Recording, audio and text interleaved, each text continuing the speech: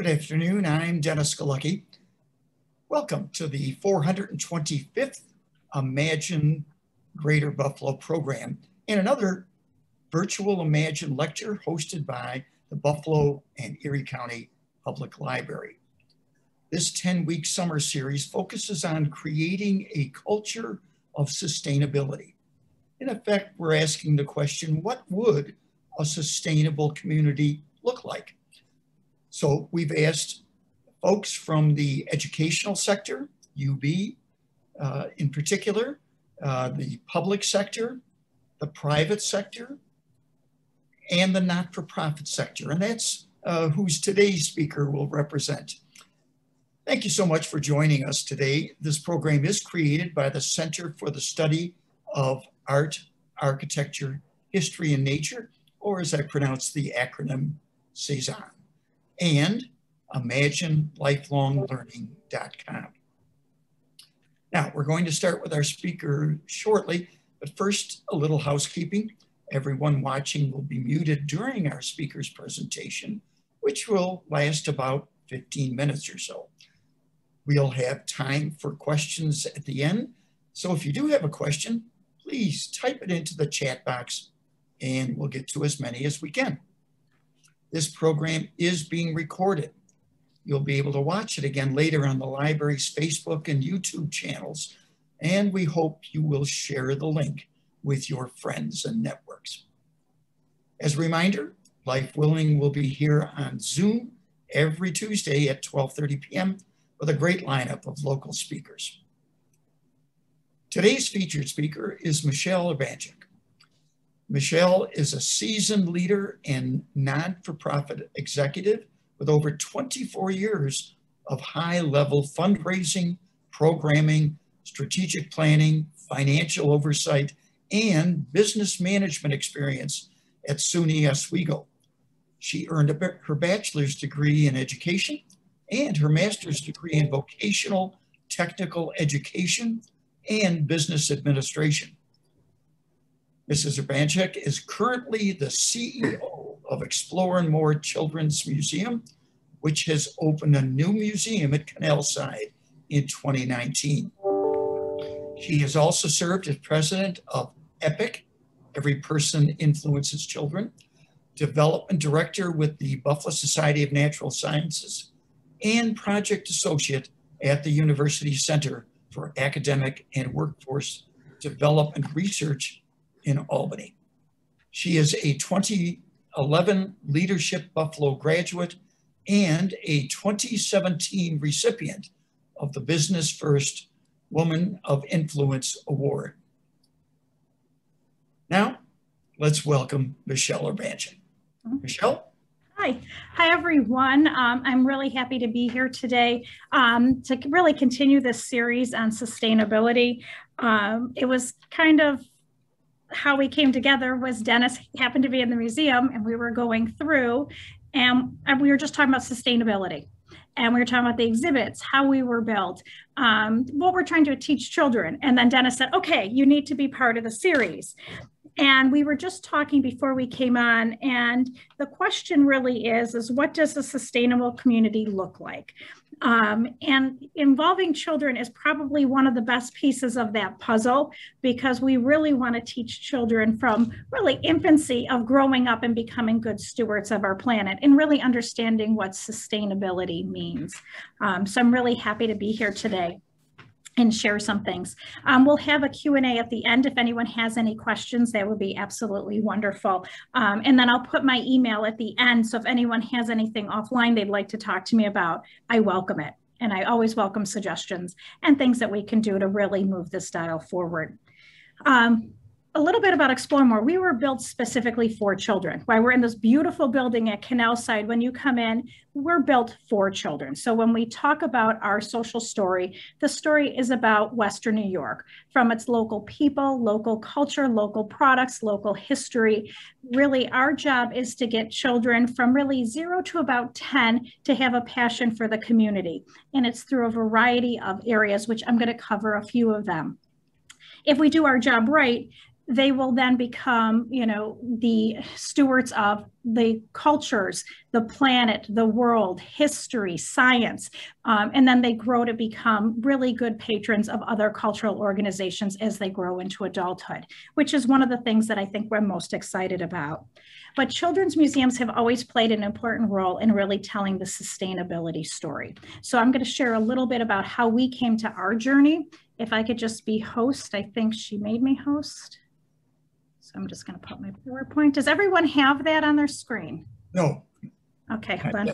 I don't think I'm host then. You should be able to click the share screen button at the bottom of the Zoom window. Ah, there we go. You got me. Now you'll see me. Does everyone have me now? We do. Yep, there. Awesome. So we're going to go to start the slideshow. So I'm going to talk a little bit, um, again, our building and we talk a little bit about the building. And when we look at the building, we have to look at really a couple things as we move forward. And one is how we built the building um, with our belief. And really, when you talk about our belief, our belief is actually teaching by example will have a greater effect on a child's behavior than telling the child what to do. Um, and we believe that why children are good listeners, they're also really good at visual and they're visual learners. So we really need to teach children by hands-on experiences and different things that they can do um, to understand the planet around them. So when we look at sustainability from our mm-hmm. area, I'm going to be talking about uh, the outside environment our building, the exhibits, the materials, and the people. And why this is important is when we teach sustainability, it's maintain support, and we teach children about the world we live in um, by acting responsible. And really what we're trying to do is teach children that they need to maintain all our precious resources for the next generation. So for future generations. And it's really hard for a five-year-old because if you ask a five-year-old what future generations are, they don't really know. So our whole job is to really get children to understand um, how to really love the resources we have. And we do this by a variety of ways, by teaching through hands-on exhibits, books, reading about climate change, talking about it, doing art projects, um, lessons in the studios, being good stewards. Um, and by example, moderating behavior. The whole thing is to make it a lifestyle choice for our children. So one of the things we look at is how do you get to the museum? Uh, we are Buffalo, New York. I always laugh when people say that um, we have the metro rail and the bus and the bikes and why we are really pushing that next generation and future generations to become the public transit. And we love it and really accept it. COVID-19 has kind of put a little bit of a wedge in there. And the reason why is because parents used to come down by the Metro Rail, and with the pandemic, it has made them pause a little bit. So, you know, this will be something to look for when we go to future, which I'm really excited about in telling that story we look at how people came into the building, the building design, um, reducing our consumption. So when we look at that, it's uh, what are our hours of operation? Um, how are we energy efficient? Do our HVAC systems work to maximize heating and cooling through our changing seasons? Do we use a lot of natural light? And we do. So that has us not having a dependency on electricity by using the natural light through the windows. Um, as everything on a timer? Is everything, do our lights automatically shut off when we're not using it? Um, how energy efficient are our appliances? We have industrial dishwashers here. We have washing machines because of our manipulatives. How energy efficient are they? Um, when you come in, are we e-ticketing? Are we passing out a paper ticket? No, we e-ticket. Um, and do we have paperless maps? We do not have any maps. Um, and in the beginning, that kind of made people pause, but we don't have maps. Um, everything could be done online, or we have monitor screens that are wayfinding that tells families how to get from one place to another. When we look at um, our exhibits, we're looking at, again, local. Um, and when we talk about it, it is what is our exhibit saying? Is it public awareness? Is it environmental, economic? Are we teaching social sustainability through these exhibits? And these are questions we ask not only um, with brain development, but how are we teaching this? And how do we teach a healthy and sustainable um, future for child development? Um, and then how do we teach sustainability habits through civic engagement? And so when we look at this, this is just rooms that we have a West Side Bazaar and we have Hispanic Heritage as part, but what we're teaching is sharp local. Um, it's better for the environment, support local businesses, invest in your community. Um, and it also helps with the job and the, the economy. Um, but it's also, you know, raising that, you know, footprint of can you walk to your local stores and can you support them? We look at exhibits that talk about water. Um, we are, of course, water, we love it. But when we talk about electricity, how is electricity generated? Um, we talk about conservation, being good stewards of water. One of our favorite things is we just uh, installed a um, car wash and why, you know, most people don't think of car wash as sustainability, it actually is. Um, and it's really using the reuse, repurpose in water through the water filtration through a car wash is really reusing the water. And we teach that through an exhibit of a filtration system and how it does it. And then we teach about a car wash and helping reduce the pollution by saving on water, saving on soap, saving on things that might go into the waterways. Another thing we do is we also teach in our cafe about recycling and how that helps the water and the planets. Um, this is one of my favorites, and this is something Dennis and I talked about when he was here. But one of the things we really teach is tools, you know, holding on to tools. So we have, you know, what we call our pretend tools to get kids used to seeing what they are. Um, and then there's areas inside the museum, such as what I'm showing you right now, of framing a house, plumbing, um, again, hands-on. We really want our children to have that experience of fixing and so we're going to go to here, which is our car. Um, and this came to me um, when I was actually shopping for a car with my daughter and saw that there was so many auto technician positions open in Western New York. And this was pre-COVID. And in just talking and learning more about it, it was because there was not a lot of vocational education programs that were teaching children the importance of fixing um, and hands-on and learning. And so we not only teach you know careers but we're teaching how do you fix it and literacy around an air filter um, changing a tire um, things of that nature that really a lug nut and teaching kids literacy to get them to understand words that might help them have a passion of doing and fixing and uh, learning these are some areas we have tinkering. Um, again, we have real tools and we have um, pretend tools. And we love when the real, real tools come out, age appropriate, of course, because we learn that kids are touching these tools for the first time. Um, I often joke here that, you know, when as soon as my father left for work, we were at this tool bench all the time. We were hammering and doing things that we shouldn't have done, but it was like playland to us. Um, and that's what kids are missing now is that hands-on of really, can I fix this or do I replace it?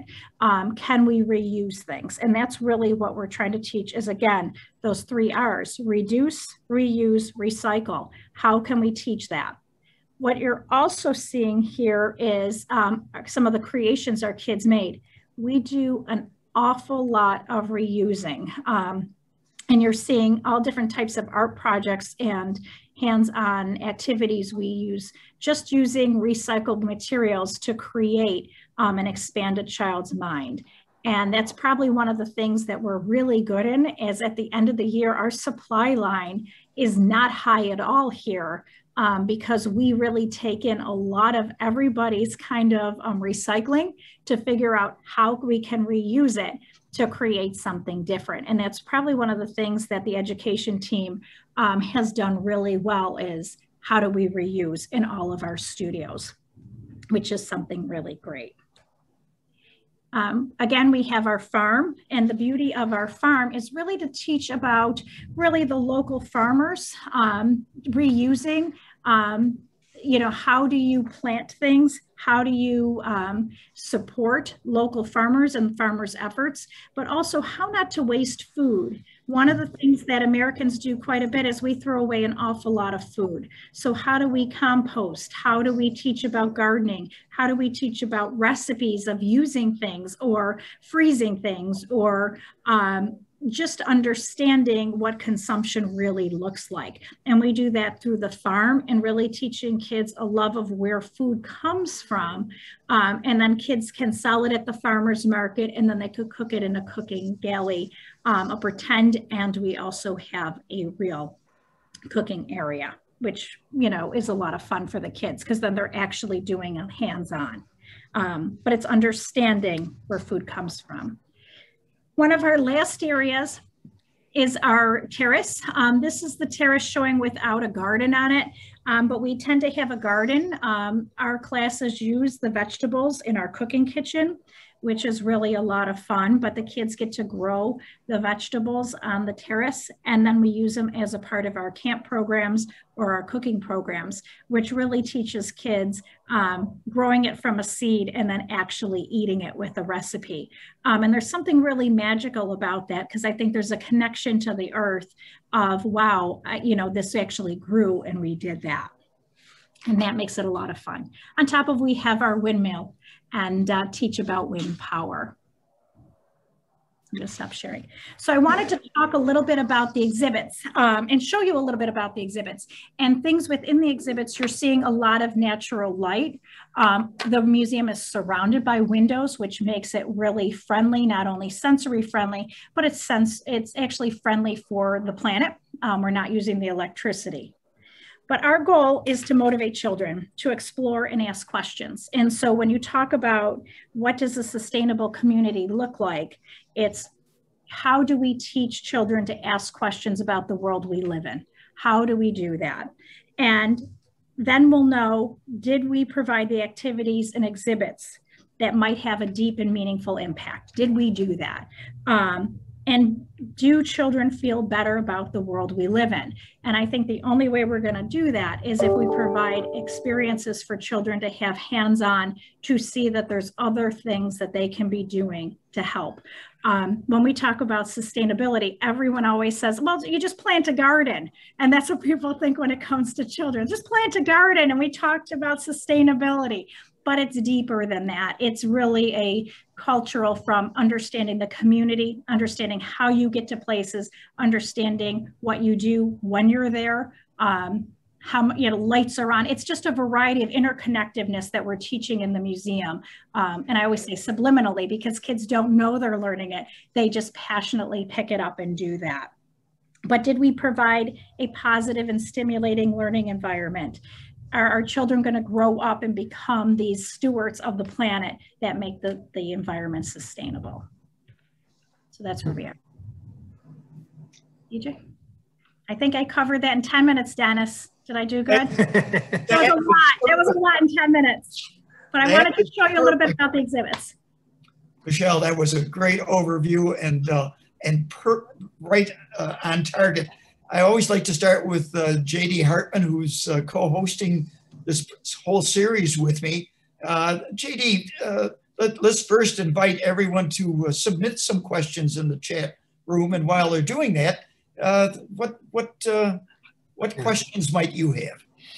Thank you, Michelle. That was wonderful. And you know, the message of being a, a good steward of the planet is essential. And the sooner we get started on that, the better. So I, am really appreciative of the work you do with children. Um, I was just wondering, you know, that since it's an essential message, how, how are, what type of efforts are, are you undertaking to make sure that there's kind of a diversity of children that reflects our city? For example, 46% of our population is non-white. So what type of, what, what are you doing in that regard? Well, that's something that, you know, we're pleased to say we don't have that issue. So our museum is very diverse from our um, board to our staff to our audience. Um, as a matter of fact, um, we were looking today of where our analytics are. So we pay quite, a, you know, close attention to our analytics. Where who's opening up our social media, who's purchasing our tickets. We look at zip codes. Um, and one of the things that we have done really well is we've created an inclusive environment. So children and families feel very welcome. Um, and so that's one of the things that um, was really important to us when we moved down, not only to be an economic driver here at Canal Side, but to represent the community in which we reside in. Uh, and so I'm, I'm very pleased to report that that has been an ongoing effort through a variety of grants, sponsorships, and just our community coming in and really embracing the museum. Yeah, well, that, that's great. I'm glad I'm glad to hear that. You mentioned you you do measurements, which I'm a I come from the private sector and I'm a numbers guy, so it's good to hear that you actually are measuring your your um, your audience as well as let's say your staff and board, as you mentioned. So that's great. It's a monthly so, uh, analytics, JD. It's it's it's just monthly. I love it. That's good to hear because um, you know, intent only gets us so far. So that's mm-hmm. great. Um, I'm gonna. I have a couple other questions, but I I think there may be one in the chat. And um, is yep. there one in the in the chat? Yep. Do we have? Yes, we do have a few questions. Let's hear. Um, Let's what, hear. What age range does the museum target, and what is the cost for a family to visit the museum? Sure. So our um, age really is zero to 10, we say, with a sweet spot in between two and eight. I say that, but we have grown up nights of play. Um, next week we have senior trips here. Um, hmm. I think the thing is, is the museum is so friendly. People want to play. They want to touch. They want to do the hands-on. I have um, just recently we had a family come through just visiting with their teenagers and said, I wish we had this when I was little. Um, and it's one of those things we get um, quite a bit. But it's really it's really intended for children. Even though I always say we're teaching this way, sometimes our exhibits are teaching adults as well, um, and that's a lot of fun. Um, the family to visit it depends on when you're coming or time of year. Um, it's normally an $11 price point um, per person to come into the museum. We do specials of pay what you can quite a bit. Um, and we do 716 promotions. We did that for about three months. Leah, any other questions? Those are all the questions. Thank you. Well, then good. We can continue our discussion. Uh, I, have got, let's start with the, with the difficulty. You just opened uh, and suddenly uh, a COVID virus uh, attacks the world. Uh, how, how have you managed to survive literally during that period of time? I can't believe everybody was rushing to explore more. We're just getting back maybe to, we hope, some normalcy and then suddenly have a Delta uh, variant. But uh, how, how will you engage the community once we do get back based on having almost a trial period uh, to uh, connect with the community before COVID did hit? Um, well, you know, we did all this planning. You know, I, I think I shared with you all the planning we did to get make sure we were in the building and it was friendly and welcoming.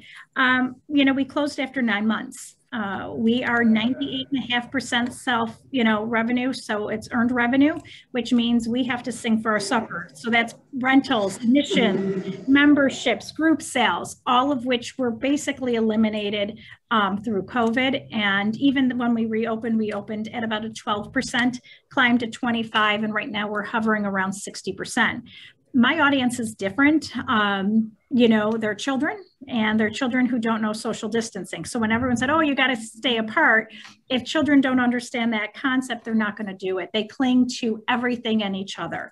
Um, but during the pandemic, you know, I we had great support. I have to say, our business community was our number one support keeping us afloat.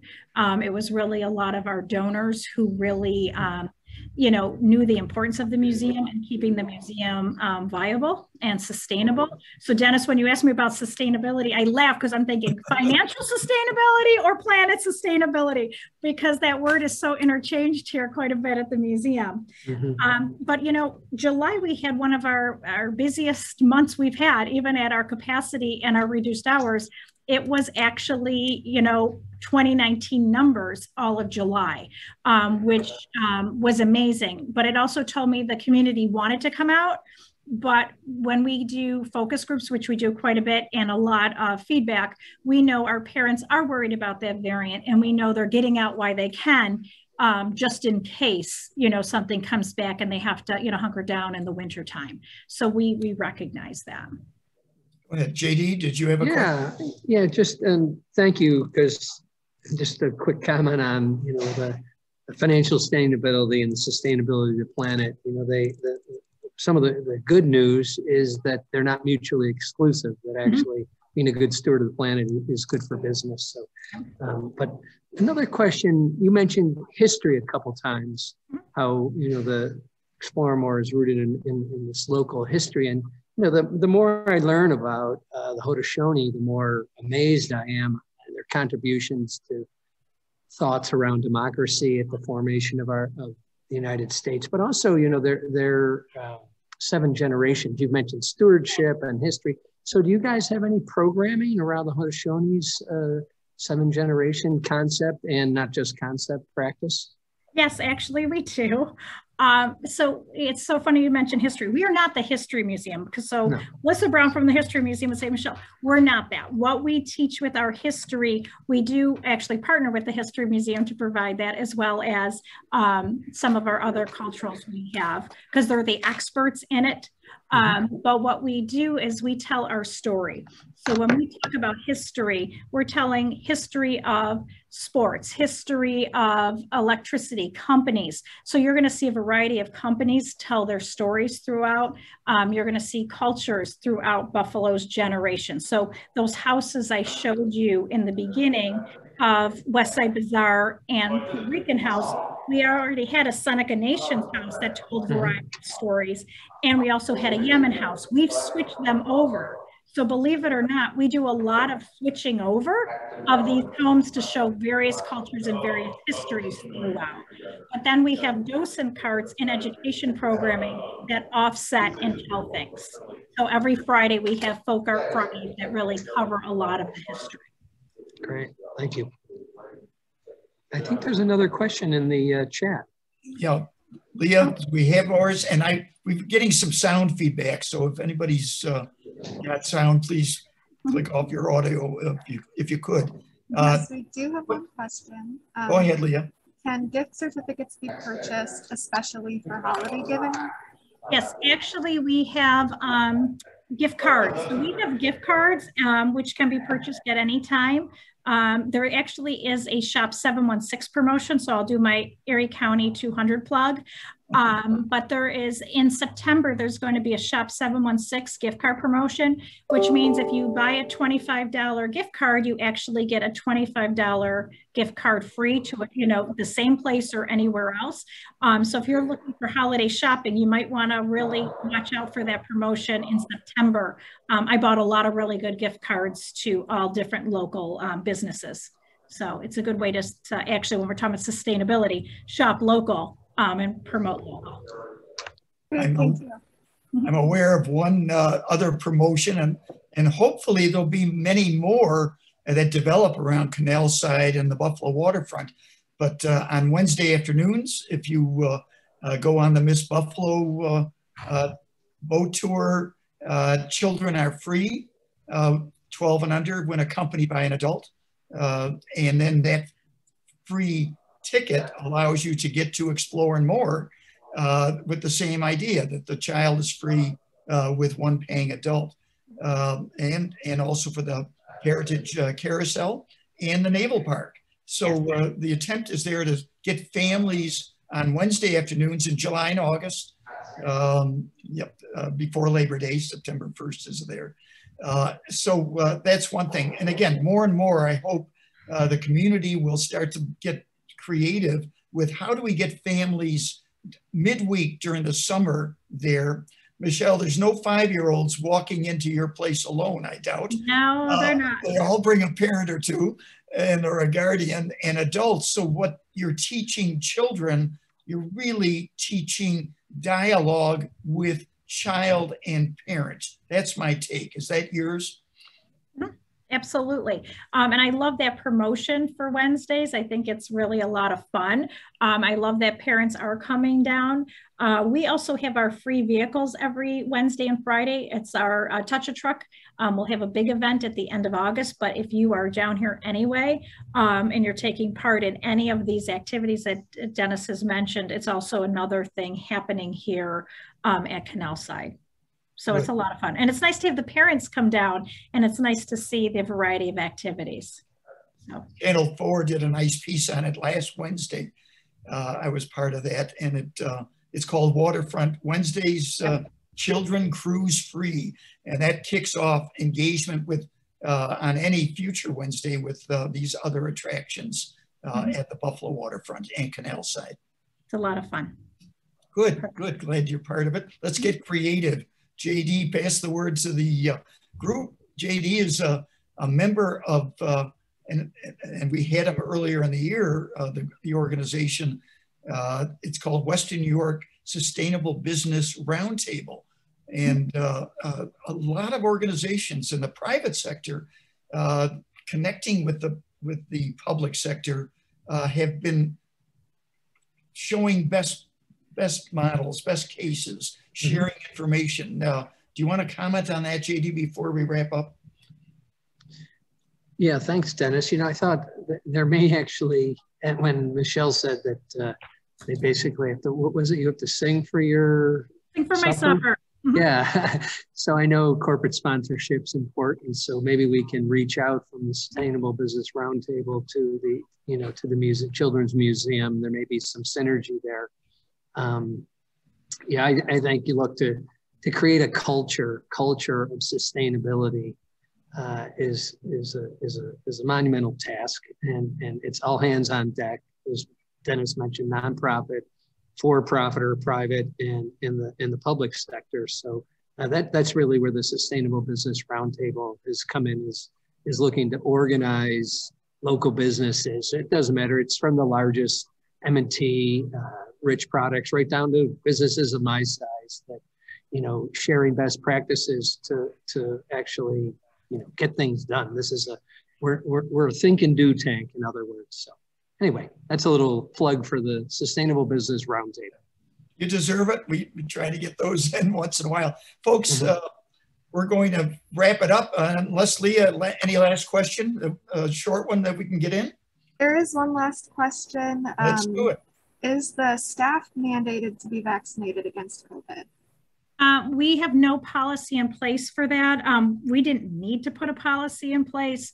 Um, our staff is 100% vaccinated by their choice, so it we did not have to put a policy in place. That's good to hear. Makes sense to me. All right. You have to unnecessary policy we didn't need, right? we don't have to put one. It's like check, okay but um, I, I, respect other businesses on how challenging that is. And you know, fortunately for us, we didn't have to to worry about that. All right. Well, we're going to uh, wrap this up. Michelle, thank you so much. Uh, thank you, Dennis.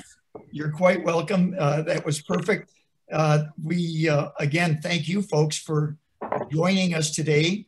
Um, uh, this is a 10 week series. This is week seven three more to go, but then we'll uh, look at somehow uh, continuing the conversation uh, as the year continues. Uh, so join us if you can next week, uh, same time when we will be hearing from Jill Spisiak Jedlicka. Uh, she's the executive director of Buffalo Niagara Water yeah. and they have much to say about sustainability certainly and have done as JD said, it's about uh, action and uh, thinking and doing. And they sure do the thinking and doing in our community. Uh, mm-hmm. much of the waterfront uh, is being revived because of the efforts of the Buffalo mm-hmm. Niagara Waterkeeper. Yeah. Uh, so, and the focus that they've had in that area. So, uh, come on back next week if you can. These are all archived at the library. check the library YouTube channel. Go to their website and uh, you can, if you're interested in past speakers in this series, and stay connected with us uh, as we continue this journey of uh, creating a culture of sustainability. Thanks, folks. See you next week. Thanks, guys.